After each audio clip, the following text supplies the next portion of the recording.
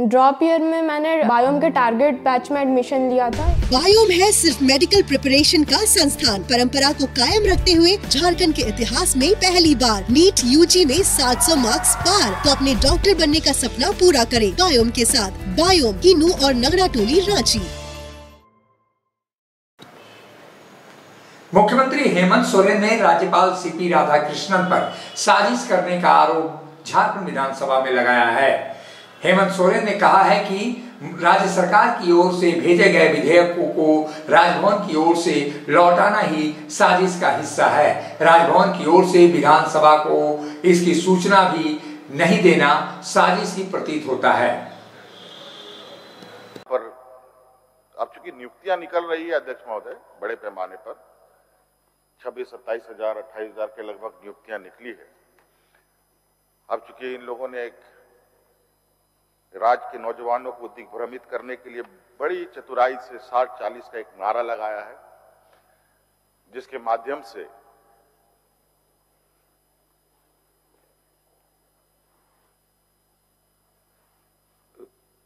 नौजवानों को गुमराह करने का एक षडयंत्र, एक जहर फिर इन लोगों ने समाज के बीच में फेंका है, अध्यक्ष महोदय। मैं आपको स्पष्ट रूप से बता दूँ, अध्यक्ष महोदय, कि सरकार की स्पष्ट सोच थी कि यहाँ 100 प्रतिशत लोग स्थानीय लोगों की नियुक्ति हो। इसी को लेकर हम लोगों ने पूर्व में बत्तीस आधारित नियोजन नीति हम लोगों ने लाने का प्रयास किया था, अध्यक्ष महोदय। सदन से पारित भी किया, लेकिन महामहिम के यहाँ जाकर के ये फंस गया और वो भी इस तरीके से उलझा कि हम दोबारा इस सदन में उसमें बहस नहीं कर पा रहे लेकिन हमारी पूरी मंशा है कि बत्तीस खतियान आधारित नियुक्ति फिर से हो। इसके लिए हम फिर से विधेयक लाएँगे, फिर से भेजेंगे अध्यक्ष महोदय। ये हमारी बिल्कुल स्पष्ट सोच है। और वर्तमान में जो ये खुद पूछ रहे हैं, इनको एक बार अपने गिरवान में भी झांकना चाहिए था कि वर्तमान में किस परिस्थिति, किस नियमावली से नियुक्ति हो रही है यह सवाल बड़ा अजीब था। मंत्री को यह बात पूछा जा रहा है, ये खुद से ये नहीं पूछ पा रहे हैं कि ये नियम बनाया था किसने? ये नियम तो उन्हीं लोगों ने बनाया था, अध्यक्ष महोदय।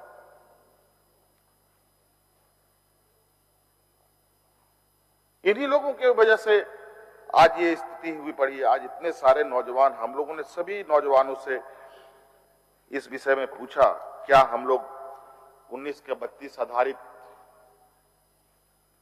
नियोजन नीति का इंतज़ार करें कि वर्तमान परिस्थिति के साथ ही आगे बढ़ा जाए? नौजवान को अगर वक्त पर राह नहीं दिखाया गया, अध्यक्ष महोदय तो वो भटक जाता है।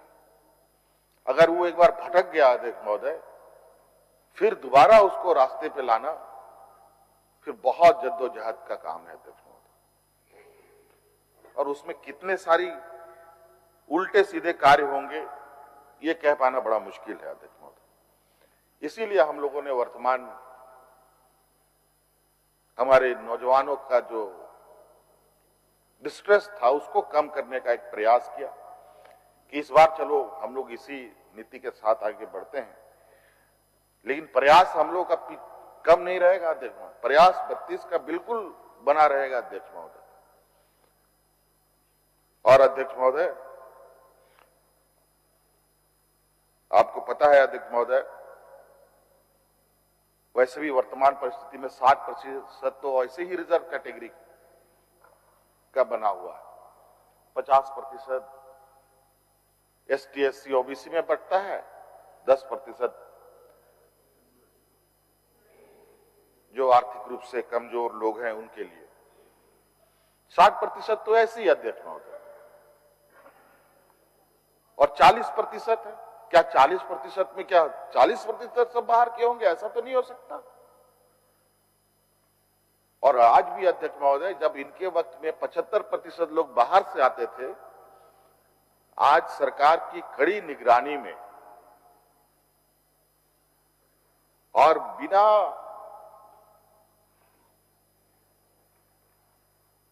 किसी डर भय के पदाधिकारी के काम करने का आज़ादी से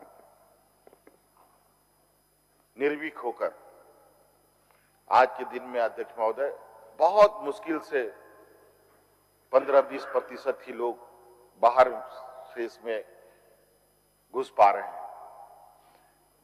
और मुझे नहीं लगता अध्यक्ष महोदय, वो भी ज़्यादा दूर नहीं कि आने वाला समय में हम इस परिस्थिति में भी उस 20 प्रतिशत को ज़ीरो प्रतिशत में ले जाने का हम काम करेंगे।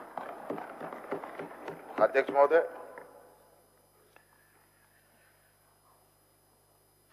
बहुत सारी बातें हैं, अध्यक्ष महोदय, और नौ भी बज रहा है। मैं समझता हूँ, अध्यक्ष महोदय, जो सरकार के कार्य हैं, बहुत सारी चीज़ें हैं जो मैं समझता हूँ कि अगर सुनने वाले होते तो बोलने में भी ज़्यादा अच्छा लगता है। मैं समझता हूँ, देखो। मिनी लंदन, मैकलुस्कीगंज, प्रकृति की गोद में बसा ड्रीम डेस्टिनेशन आपका कर रहा है इंतज़ार। आइए अपने यादगार लम्हों को बिताइए ड्रीम डेस्टिनेशन में। राजधानी रांची से महज 50 किलोमीटर दूर आपका अपना ड्रीम डेस्टिनेशन जब टूटती है आप जब थकती है सांस, जब रूठते हैं अपने, मुँह मोड़ता है जमाना, जब अंगड़ाई लेता है संकल्प, फिर बनती है कहानी। बनते हैं अनमिट निशान। देखिए मेरे साथ संघर्ष की दास्तान।